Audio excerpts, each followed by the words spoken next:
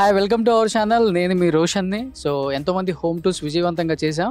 So చెన్నైలో ఎంతో ప్రయాణం చేసి తర్వాత చెన్నై నుంచి హైదరాబాద్ షిఫ్ట్ అయిన తర్వాత ఇండస్ట్రీ చాలామంది ఆర్టిస్టులు కావచ్చు టెక్నీషియన్స్ కావచ్చు ముఖ్యంగా ట్వంటీ ఫైవ్ ఇయర్స్ బ్యాక్ చూసుకుంటే అందరు టెక్నీషియన్స్ కూడా అక్కడ నుంచి ప్రత్యేకంగా హైదరాబాద్లో కూడా ఇండస్ట్రీ అనేది ఒక హబ్ అయిపోవాలి. ఒక ఇండస్ట్రీ హబ్ లాంటిది ఇక్కడ ఏర్పరచాలని నాగేశ్వరరావు గారు రామారావు గారు చిరంజీవి గారు నాగార్జున గారు వెంకటేష్ గారు బాలకృష్ణ గారు ఎంతోమంది కృషి చేశారు.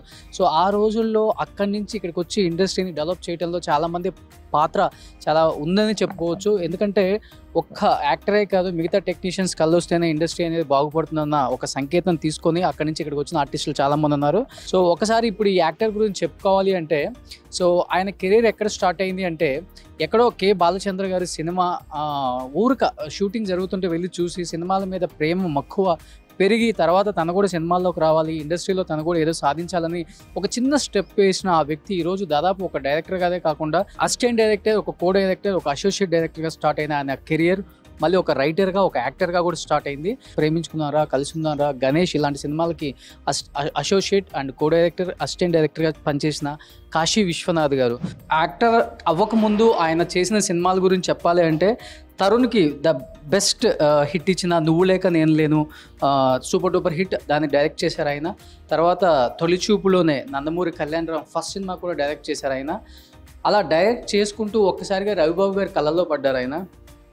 ఆయన ఫస్ట్ సినిమాలో రవిబాబు గారు ఫస్ట్ సినిమాలో ఆయన యాక్టర్గా చేశారు. యాక్టింగ్కి ఫుల్ స్టాప్ పెట్టకుండా దాదాపు రెడీ కావచ్చు నువ్వు నాకు నచ్చావు కావచ్చు డార్లింగ్ కావచ్చు మిస్టర్ పర్ఫెక్ట్ కావచ్చు ఇలా ప్రతి సినిమాలో తనంతట తాను తన పాత్రకి ఎక్కడైతే కొంత ఇంతవరకు అయినా అక్కడ ప్లేస్ ఉందో ఆ ప్లేస్ని కూడా ఆయన ఎలా చేశారు అంటే ఒక యాక్టింగ్ స్కిల్ని ఏ విధంగా చూపించగలరు అంటే డైరెక్టర్ కమ్ యాక్టర్ కాబట్టి ఆటోమేటిక్గా యాక్టింగ్ చేయాల్సిన అవసరం లేదు. వాళ్ళకి ఆటోమేటిక్గా యాక్టింగ్ కళ్ళ లోపలనే ఉంటాయి. ఒకసారి లోపలికి వెళ్దాం. కాశీ విశ్వనాథ్ గారి ఇల్లు ఇది.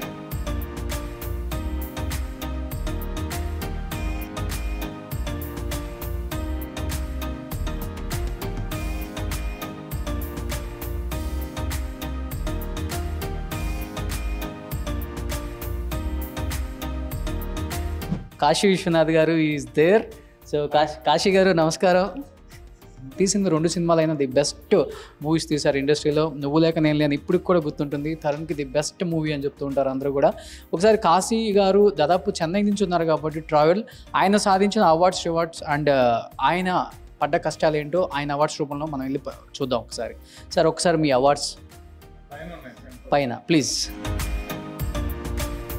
కాశీ గారు నాకు బాగా ఇష్టమైన సినిమాలు చాలా ఉన్నాయి. మిర్చి కావచ్చు మిస్టర్ పర్ఫెక్ట్ కావచ్చు ఇలా ప్రభాస్తో కూడా ఎన్నో సీన్స్ చేశారు ఆయన.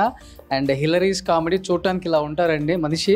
కామెడీని పండించడంలో ఆయనకు మా ఆయనకు ఆయనే దిట్ట అనమాట ఎందుకంటే ఈయన రైటర్ అండి. మనం ఎంత ఆచితూచి మాట్లాడితే అంత బెస్ట్ ఇక్కడ.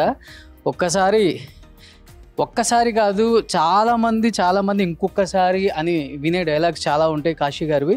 ఒకసారి ఆయన పడ్డ కష్టాలు ఇదిగో ఈ రూమ్లో ఉన్నాయంట భద్రపరిచారు పైన పెంట్ హౌస్లో.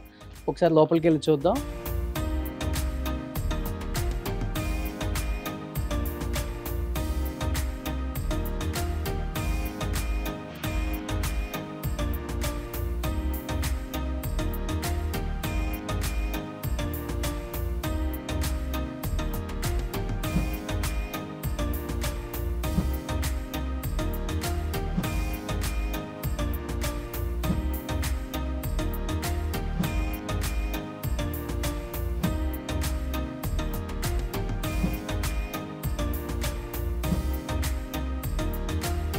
సో కాశీ విశ్వనాథ్ గారి అవార్డ్స్ రివార్డ్స్ చూసాం కదా. సో అవార్డ్స్ రివార్డ్స్ నేను కంప్లీట్గా కూడా కొంత డిస్టర్బ్ ఉంది దీంట్లో. ఎందుకంటే త్వరలో కాశీ గారి అమ్మాయి పెళ్ళి ఉందని చెప్పి నేను విన్నాను. ఇది చాలా మాకు హ్యాపీ న్యూస్ అనమాట సో అందుకోసం ఇల్లంతా రెనోవేషన్ అవుతుంది. సో ఒకసారి ప్రజెంట్ ఉన్న సినిమాల గురించి అండ్ ఆయన చేస్తున్న సినిమాల గురించి ఆయన మాటలను తెలుసుకుందాం. కాశీ గారు సో నమస్కారం. ఇప్పటికీ ఎప్పుడు నవ్వుతా తెల్లగా నిగనగలాడిపోతారు. ఏంటి అసలు ఈ సీక్రెట్? ఏం లేదు మనసు ప్రశాంతంగా ఉంటుకో ఓకే. మనం పీస్ఫుల్గా ఉన్నాం అనుకో ఎలాంటి ప్రాబ్లం వచ్చినా ఎలాంటి ఆనందం వచ్చినా ఒకేలా ఉండటం బ్యాలెన్స్ చేసుకుంటే ఆటోమేటిక్గా ఎవరి ఫేస్ అయినా బాగుంటుంది. సూపర్. సో చెన్నై నుంచి హైదరాబాద్ వరకు ట్రావెల్ చేశారు. దీంట్లో ఎన్నో కష్టాలు ఉన్నాయి అట్ ది సేమ్ టైం ఆ కష్టాల వెనక కూడా మీరు పడ్డ సుఖం కూడా ఉంది. సో బికాస్ ఆఫ్ ఇండస్ట్రీలో బాలచంద్ర గారిని ఇన్స్పిరేషన్గా తీసుకొని తర్వాత లంకెబిందల సినిమాతో విజేంద్రమల గారి దగ్గర మీరు అసిస్టెంట్ డైరెక్టర్గా పనిచేసి ఈరోజు ఇండస్ట్రీలో మీకంటూ ఒక మార్క్ క్రియేట్ చేసుకున్నారు. దాదాపు వంద సినిమాలు పెరిగి యాక్ట్ చేశారు. మంచి సినిమాలకి నూట డెబ్బై ఐదు సినిమాలు యాక్ట్ చేశారు. మంచి మంచి సినిమాలకి మీరు మీ పాత్ర ఎంత చాలా వరకు ఉంది. ఎలా అనిపిస్తుంది? ఇంత దూరం వచ్చిన తర్వాత విజేంద్రమల గారి గురించి ఫస్ట్ ఆమె దగ్గర చేశారు కాబట్టి ఏం చెప్తారు ఆమె గురించి? లేరు ఆమె కూడా మనకి. అంటే ఈ జర్నీ అంతా తలుచుకుంటే చాలా హ్యాపీగా ఉంది. ఎప్పుడు మనిషి ఎప్పుడు మన ఫ్లాష్ బ్యాక్ అంటే మన గతం గురించి కంపేర్ చేసుకుంటే మనం ఎంత ఎదిగామో ఎంత డెవలప్ అయ్యామో అనేది తెలుస్తుంది. అదర్స్తో కాకుండా. సో ఆ విధంగా చూసుకుంటే నేను అన్ని రకాలుగా కూడా చాలా ఒక డైరెక్టర్గా ఒక యాక్టర్గా చాలా సాటిస్ఫైడ్ లైఫ్ ఎంజాయ్ చేస్తున్నాను. ఫస్ట్ మా గురువుని విజయ నిర్మల్ గారు ఆవిడ దగ్గర నేను అప్రెంటిస్గా చేయటం జరిగింది. ఆవిడ దగ్గర చాలా నేర్చుకున్నాం. ఇంచుమించు హార్డ్ వర్క్ అనేది ఆవిడ దగ్గర నుంచే. ఎందుకంటే ఆవిడని పని రాక్షసు అని అని కూడా అంటారు. రోజుకి పన్నెండు సీన్లు తీసిన సందర్భాలు కూడా ఉన్నాయి. సో అక్కడి నుంచి సాగిన జర్నీ అలా మెల్లిగా సురేష్ ప్రొడక్షన్స్కి వచ్చి రామనాయుడు గారు సురేష్ బాబు గారు వాళ్ళ ఆధ్వర్యంలో బాగా కష్టపడి మంచి మంచి సినిమాలకి కో డైరెక్టర్గా చేసే ఛాన్స్ వచ్చింది. అన్ని ట్రెండ్ సెట్టింగ్ మూవీసే. ప్రేమించుకుందాంరా గణేష్ కలిసి ఉందాంరా జయం మందేరా. తర్వాత నువ్వు లేక నేను లేను. ఈ రా అనేది కూడా మీ ప్లాన్ అని చెప్పి నేను విన్నా. నిజమా? అంటే ఫస్ట్ స్టార్టింగ్ ఆ టైటిల్ పెట్టింది నేనే. ప్రేమించుకుందాం రా అని. చాలా టైటిల్స్లో అది నచ్చి అది ఓకే చేశారు. అంటే కథ క్యాప్ట్గా ఉంటుంది. విలన్ ఇంట్లో నుంచి హీరో హీరోయిన్ని చేయబట్టుకుని రా ప్రేమించుకుందాం అని తీసుకెళ్ళిపోతూ ఉంటాడు. అక్కడి నుంచి క్లైమాక్స్ అంతా చేజ్ అనమాట.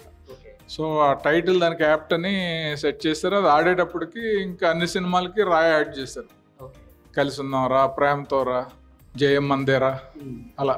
సో అంతా కూడా రా రా రా రా రా అంతా కూడా విజయవంతం అయిపోయింది. సో కమింగ్ టు మీ అవార్డ్స్ చూసిన తర్వాత నాకు బాగా దగ్గరగా నచ్చే సినిమాలు అంటే సో ప్రభాస్తో చేసిన సినిమాలు. నిత్యలో కావచ్చు మిస్టర్ పర్ఫెక్ట్ కావచ్చు. ప్రభాస్తో ఒక బాండింగ్ అనేది మీ ఆర్టిస్టులకు బాగా దగ్గరగా ఉండేది అప్పుడు. సో ఇప్పుడు ప్రభాస్ ఇంటర్నేషనల్ స్టార్ అయిపోయారు. ఎలా అనిపిస్తుంది? ప్రభాస్ బిఫోర్ ఇంటర్నేషనల్ స్టార్ మీరు వర్క్ చేసి ఉన్నారు ఇప్పుడు ఇంటర్నేషనల్ స్టార్ అయిపోయిన తర్వాత ఎలా అనిపిస్తుంది? ఎప్పుడైనా కలిసినా కానీ ఎలా అనిపిస్తుంది? అంటే కొంతమంది మనుషులు ఉంటారు.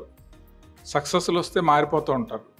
కొందరు అసలు ఎంత సక్సెస్ వచ్చినా ఎంత నేమ్ అండ్ ఫేమ్ వచ్చినా కానీ ఒకేలా ఉంటారు. అలా ఉండే రకం ప్రభాస్. అస్సలు ఇగో ఉండదు. చాలా బంగారం లాంటి మెంటాలిటీ. ఎప్పుడు కనిపించినా ఒకే రకంగా మాట్లాడతాడు. సేమ్ అదే ఎఫెక్షన్ ఉంటుంది. ఇప్పుడు సినిమాలన్నీ కొన్ని కలిసి చేయగలుగుతాము కొన్ని చేయలేము. కొంత గ్యాప్ వస్తూ ఉంటుంది. తర్వాత ఎక్కడ కలిసినా కూడా చాలా హ్యాపీగా మాట్లాడుతాడు. ఆ రెండు సినిమాల్లో చాలా మంచి మంచి ఎక్స్పీరియన్స్లు ఉన్నాయి. ఆన్ స్క్రీన్ ప్రభాస్ ఏంటో మాకు చెప్పారు. అంటే రియల్ లైఫ్లో ప్రభాస్ ఆఫ్ స్క్రీన్ ఎలా ఉండేవాళ్ళు? మీతో ఆ షూట్ లేని టైంలో కానీ ఆ గ్యాప్ టైంలో కానీ వెరీ సింపుల్ నాతోటే కదా ఎవరితోటైనా చాలా సింపుల్గా ఉంటాడు ఆయన. అసలు ఇగో అనేది ఉండదు హీరో అనే ఫీలింగ్ ఉండదు. డెడికేటెడ్గా ఉంటాడు అట్ ది సేమ్ టైము ఎవరితోటైనా బాగా మాట్లాడతాడు. చాలా స్వీట్ పర్సన్ సో ఇప్పుడు స్పీడ్ పర్సన్ అని చెప్పారు. మళ్ళీ స్వీటీ గురించి చెప్పాల్సి వస్తుంది. సో మిర్చిలో స్వీటీతో చాలా మంచి అనుభూతులు. ఆ మిర్చి సినిమా కూడా సూపర్ డూపర్ హిట్. ఒక ఫ్యామిలీ ఓరియంటెడ్ టైప్. సో మొత్తం చూసుకుంటే నిజమైన ఫ్యామిలీ అనిపించేలాగా యాక్ట్ చేశారు. అందరూ ఆవహించుకున్నారు ఆ క్యారెక్టర్స్ని. ఎలా ఉండేది స్వీటీతో? అంటే మిర్చి అనేది ఒక అద్భుతమైన సినిమా. కొరటాల శివ గారు చాలా ఫస్ట్ ఫిల్మే చాలా బాగా తీశాడు. దాంట్లో నాకు స్వీటీ అంటే అనుష్క ఫాదర్ క్యారెక్టర్ అన్నమాట. మా ఇద్దరికి చాలా ఫన్నీగా ఉంటాయి. సెటైర్లు వేసుకుంటూ ఉంటాం. సినిమాల్లో మా ఇద్దరి మధ్యన జరిగిన సన్నివేశాల్లో కూడా చాలా నవ్వులుగా ఉంటాయి. ఎట్ ది సేమ్ ఫాదర్ అంటే చాలా ఇష్టం. స్వీటీ విషయంలో నేనే కాదు ఎవరైనా సరే అలాంటి ఒక కూతురు ఉండాలి అలాంటి ఒక సిస్టర్ ఉండాలి అనేలా ఉంటుంది పర్సనల్ బిహేవియర్ అస్సలు హైప్స్ ఉండవు హైలు ఉండవు ఆ, ఒక రకమైన ఇగో ఉండదు. బాగా చిన్నోళ్ళు ఎవరో వాళ్ళ దగ్గరికి వెళ్ళి మాట్లాడుద్ది. చాలా అఫెక్షనేట్తో మాట్లాడుద్ది. ఇప్పటికి ఎక్కడికి వెళ్ళినా సరే మొన్న రాఘవేంద్రరావు ఆఫీస్కి ఏదో పని ఉండి వెళ్తే తను అక్కడికి వచ్చింది. చూడగానే వచ్చి ఇలా హక్ చేసుకుని మాట్లాడి అదే ప్రేమతో ఉంటుంది. సో ఇండస్ట్రీలో నచ్చని వాళ్ళు అంటూ ఎవరు ఉండరు స్వీటీ అంటే. సో ఇప్పుడు మీరు అన్నారు అలాంటి కూతురు అలాంటి ఒక చెల్లెలు ఉంటే బాగుండు అని. సో ఇండస్ట్రీలో అందరికి తీరని ఒక సందేహం ఇప్పుడు కూడా రాని ఒక ఆన్సర్ ఉంది అంటే ప్రభాస్ ప్రభాస్ అండ్ అనుష్క ఫ్రెండ్సా లవర్సా అనేది ఎవరికి అర్థం కాదంటుంటారు. వాళ్ళు కూడా చాలాసార్లు క్లారిటీ ఇచ్చారు. నిజంగా సెట్లో ఎలా ఉంటారు వాళ్ళు? Out of out of on screen కాకుండా ఆఫ్ స్క్రీన్ ఎలా ఉంటారు? లైక్ ఫ్రెండ్స్ లేకపోతే లవర్స్ లాగా అనిపిస్తారా మీ అందరికి ఎప్పుడన్నా? అంటే ఒక ఇద్దరు గుడ్ హ్యూమన్ బీయింగ్ మాట్లాడుకుంటూ ఉంటే ఎలా ఉంటుందో అలా ఉంటుంది. చూడడానికి మనకి ఏదైనా డౌట్ వచ్చేలా కానీ ఇదేంటి ఇలా ఓవర్గా బిహేవ్ చేస్తున్నారని కానీ ఏమీ లేకుండా మామూలు హీరో హీరోయిన్ మాట్లాడుకుంటుంటే ఎలా ఉంటుందో అలాగే అనిపిస్తుంది.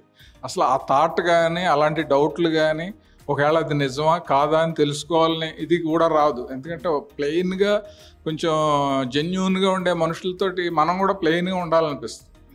ట్రిక్కీగా ఉంటే మనకి ఏమైనా ఆలోచనలు రావచ్చేమో కానీ. బట్ వాళ్ళ విషయంలో నాకు అసలు ఎప్పుడు ఆ డౌట్ అప్పుడు లేదు ఇప్పుడు లేదు. ఒకవేళ నిజంగా కానీ అలాంటిది ఏదైనా జరిగితే వాళ్ళు ధైర్యంగా అనౌన్స్ చేసి వాళ్ళు హ్యాపీగా ఒకటైతే చూడాలనుకునే వాళ్ళు నేను ఒకడిని.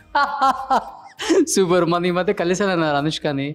సో కూతురుగానే యాక్ట్ చేసింది కాబట్టి మీకు తండ్రిగా మీకు కొంత ఉంటుంది ఆ చనువు. పెళ్ళి ఎప్పుడైనా అడిగారా మరి అనుష్కని? అడగలేదు. నిజంగా తండ్రిగా ఫీల్ అయితే నాదే కదా బాధ్యత. అదేం అడగలేదు. ఇప్పుడు ప్రతి వాళ్ళకి ఒక పర్సనల్ లైఫ్ ఉంటుంది. వాళ్ళకి కొన్ని ప్లానింగ్స్ ఉంటాయి. వాటిల్లో దూరి డిస్టర్బ్ చేసి కెళ్ళికి మీలాగా అడగకూడదు మేము. అంతే కదా. సో లాస్ట్ అండ్ ఫైనల్గా తెలుగు సినిమా ఇండస్ట్రీ అనేది ఎప్పటి నుంచో చూస్తున్నారు కాబట్టి మీరు అప్పటికి ఇప్పటికి ఏమైనా మార్పులు కనపడ్డాయా? ఇంకా ఎలాంటి మార్పులు వస్తే బాగుంటుంది? ఇప్పుడు ఈ ఓటీటీ ప్రపంచం అంత అంతా వచ్చిన తర్వాత ఎంతవరకు దీన్ని ముందుకెళ్ళిపోవచ్చు అంటారు? మార్పులు అంటే డెఫినెట్గా మార్పులు జరుగుతూనే ఉంటాయి. ఎందుకంటే టెక్నాలజీ డామినేట్ చేస్తుంది కాబట్టి. బట్ ఈ మధ్యన వచ్చిన కరోనా వల్ల బిగ్ స్క్రీన్ని కంటే కూడా ఈ ఓటీటీ అనేది కొంచెం ఎక్కువ మామూలు సినిమాలు తీయటం కానీ వాళ్ళు కొనటం కానీ ఓటీటీ ప్లాట్ఫామ్ మీద రిలీజ్ చేయడం కానీ ఎక్కువ జరిగింది. ఎందుకంటే ఈ కరోనా మహమ్మారి నుంచి బయటపడాలని ప్రతి ఫ్యామిలీ మెంబరు అనుకుంటాడు కాబట్టి అది ఒకళ్ళకి వస్తే వంద మందికి వస్తుంది కాబట్టి థియేటర్కి వెళ్ళటానికి ఫస్ట్లో సాహసించలేదు. తర్వాత తర్వాత ఒక స్టేజ్కి వచ్చి తగ్గిపోయిన తర్వాత రీసెంట్గా ఉప్పెన కానీ మన జాతి రత్నాలు కానీ మా నేను యాక్ట్ చేసిన క్రాకు ఇలాంటి సినిమాలు మామూలు సోలో బ్రతికే సో బెటర్. ఇలా చాలా మంచి మంచి సినిమాలు ఆడి బాగా జనం అందరూ సినిమాలు చూసి ఒక నమ్మకాన్ని క్రియేట్ చేశారు. సో దాని తర్వాత బిగ్ స్క్రీన్ అనేది ఎప్పుడు బిగ్ స్క్రీనే. ఓటీటీ డిజిటల్ ఇవన్నీ ఉంటాయి. బట్ దీన్ని మాత్రం ఎవరో డిస్టర్బ్ చేయలేరు. ఇది ఎప్పుడు ఉంటానే ఉంటుంది. దీని మంచి సినిమాలు సిచ్యువేషన్ బట్టి సందర్భాన్ని బట్టి రిలీజ్ చేస్తే ఎప్పుడు సూపర్ హిట్ అవుతూనే ఉంటాయి. సో ఏమైనా సినిమాలు యాక్ట్ చేస్తున్నారా ట్వంటీ ట్వంటీ వన్లో? అంటే ప్రభాస్తో కలిసి మళ్ళీ ఏమైనా యాక్ట్ చేస్తున్నారా? సలార్ కానీ పురుష్ కానీ? లేదు ప్రస్తుతం ఏం లేదు. అలాంటివి ఏమైనా ఉంటే వాళ్ళు కబురు చేస్తే వెళ్ళి చేస్తాం.